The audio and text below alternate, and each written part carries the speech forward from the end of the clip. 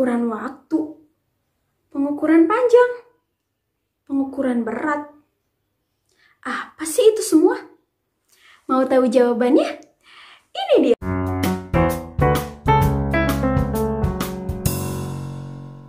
Assalamualaikum warahmatullahi wabarakatuh. Halo semuanya, selamat siang, selamat pagi, selamat sore, selamat malam untuk teman-temanku yang ada di rumah. Bagaimana kabar hari ini? Wah, alhamdulillah semoga senantiasa dalam keadaan sehat walafiat ya. Perkenalkan, nama kakak Aulia Aryani. Hari ini kita akan belajar mengenai pengukuran waktu, pengukuran berat, dan pengukuran panjang. Sudah siap belajar hari ini dengan kakak? Harus siap ya. Yuk langsung aja ke penjelasannya. Let's go! Baik teman-teman, di sini kakak akan menjelaskan pada poin pertama terlebih dahulu, yaitu pengukuran waktu. Pada kelas 1 SD, tentu kalian sudah mempelajari bahwa petunjuk waktu itu seperti pagi, siang, dan malam. Kali ini kita akan mempelajari bagaimana sih cara membaca dan menulis jam. Ini dia. Tahukah kalian apa alat yang dapat digunakan untuk mengukur waktu? Di sekitar kita banyak sekali alat yang dapat digunakan untuk mengukur waktu, misalnya jam dan stopwatch. Namun, pada umumnya yang sering kita gunakan adalah jam digital dan jam analog. Di sini Ibu akan mempelajari jam analog saja. Sekarang coba kalian perhatikan jam analog di samping. Jam analog mempunyai tiga jarum jam. Yang pertama, jarum kecil. Jarum ini menunjukkan satuan detik. Yang kedua, jarum pendek. Jarum ini menunjukkan satuan menit. Yang ketiga, jarum panjang. Jarum ini menunjukkan satuan jam. Untuk membaca dan menentukan jam, kakak mempunyai sebuah cerita. Mohon disimak dan didengarkan baik-baik ya. Ami adalah seorang anak yang disiplin. Ia selalu berangkat sekolah tepat waktu. Selain disiplin, Ami juga patuh kepada kedua orang tuanya. Ami tidak pernah terlambat datang ke sekolah.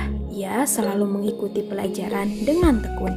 Ami pergi ke sekolah jam 07.00 pagi dan pamit kepada ayah ibunya.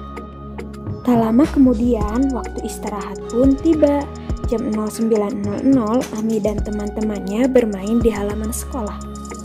Jam sekolah pun tiba. Ami pulang sekolah bersama temannya pukul 11.00. Nah, pada cerita yang tadi kakak sudah jelaskan, kita bisa membaca dan menentukan jam. Pada awal cerita, Ani berangkat sekolah, yaitu pukul 07.00. Ini bisa ditentukan Jarum panjang terletak pada angka 12, jarum pendek terletak pada angka 7, maka bisa dibaca pukul 7. Pada pertengahan cerita, Ani istirahat bersama teman-temannya pada pukul 09.00. Hal ini bisa ditentukan jarum panjang terletak pada angka 12, jarum pendek terletak pada angka 9, maka bisa dibaca pukul 9. Pada akhir cerita, Ani pulang bersama teman-temannya yaitu pukul 11.00.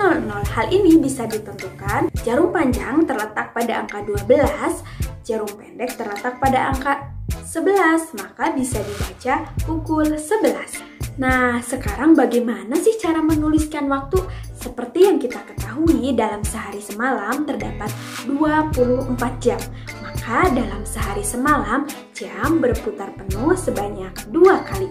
Jadi setelah pukul 12 siang, penulisan tidak kembali ke 0100, penulisan diteruskan ke pukul 13.00 hingga pukul 24.00 pukul 24.00 sama dengan pukul 12 malam.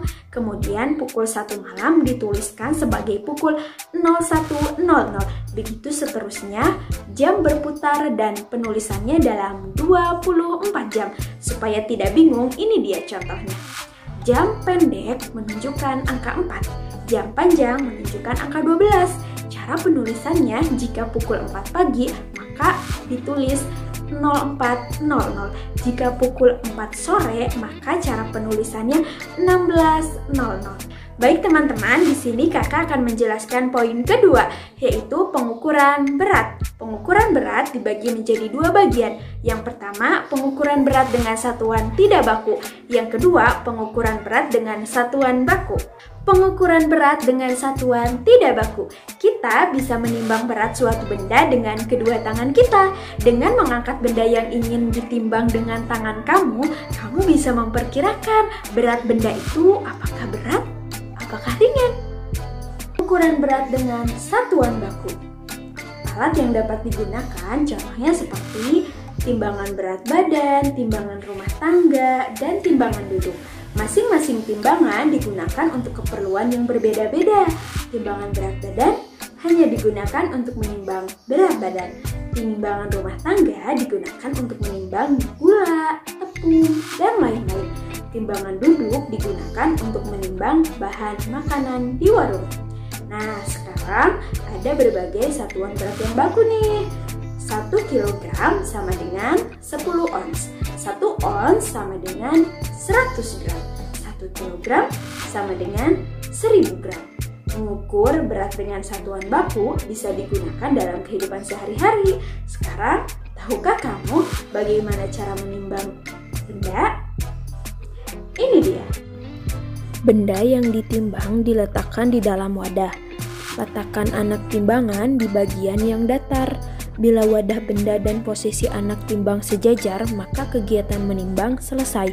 Lihatlah jenis dan jumlah anak timbangan yang terpakai. Bila anak timbangannya 1 kilogram, berarti berat benda yang kita ukur adalah 1 kilogram.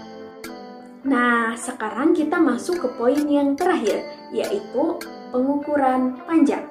Pengukuran panjang dibagi menjadi dua bagian. Yang pertama, satuan panjang tidak baku, dan yang kedua, satuan panjang baku.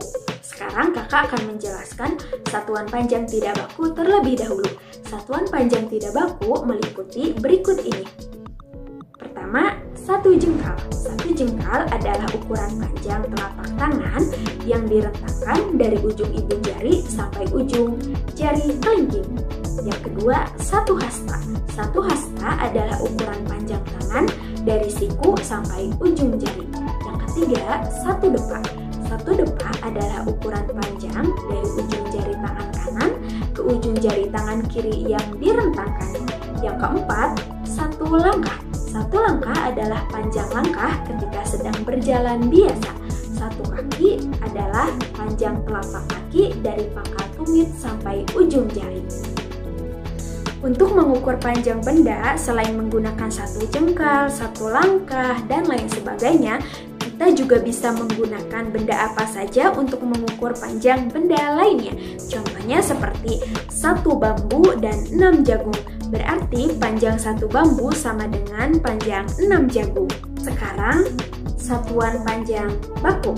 Dalam satuan panjang baku, alat yang digunakan biasanya mistar atau penggaris.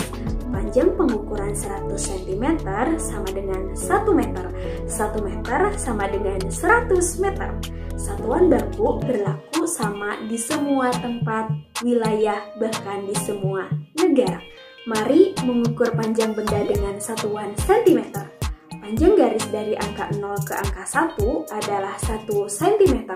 Bila pada penggaris itu terdapat angka sampai 30, berarti penggaris itu mempunyai panjang 30 cm. Hmm, bagaimana sih cara menggunakan penggaris? Ayo kita coba. Letakkan salah satu sisi buku di angka 0 pada penggaris.